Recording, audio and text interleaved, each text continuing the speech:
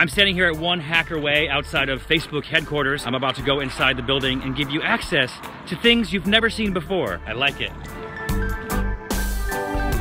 Matt is my buddy from Apple. His wife, Sarah, works at NASA. We're gonna meet up with Greg. We're walking into Facebook, and apparently when you check in, you have to like everything.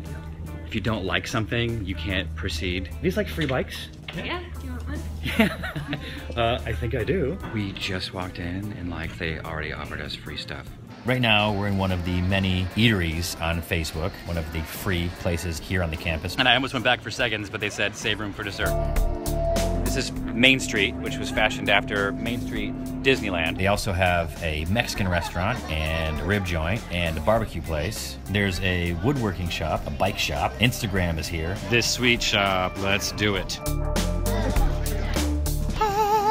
Hi, can I have all of it? I want everything put in several boxes. We're talking about how cool it is to eat ice cream with a big mustache like this. See?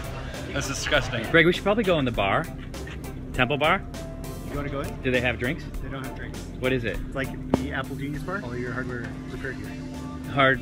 Your uh, laptop hard, or your phone. hard alcohol? We're now walking from one campus to the next. This building we're walking into is where Mark's office is. You know who Mark is.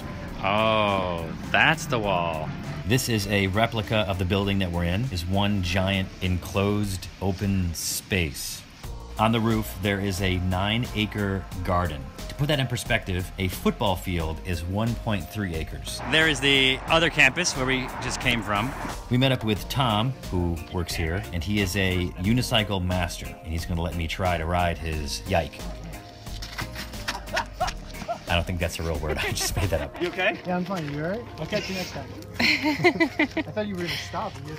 You just, I couldn't stop. I you, had, you had so much. And it's a very freeing, creative existence. And it sort of makes people want to stay at work longer and it makes people want to take chances and, and be creative. And I don't think a lot of companies embrace that, but here they do.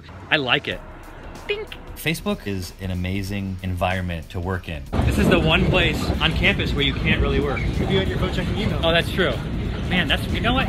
You have a future here. I know. Here is Tom's drone shot from his unicycle in a park, which is on a roof in Silicon Valley. What puts a smile on your face?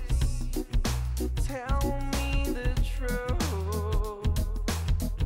This squirrel we're trying to catch, he got his eye cut a few weeks ago. I called the vet. They said that they'll take care of him and uh, if I can catch him.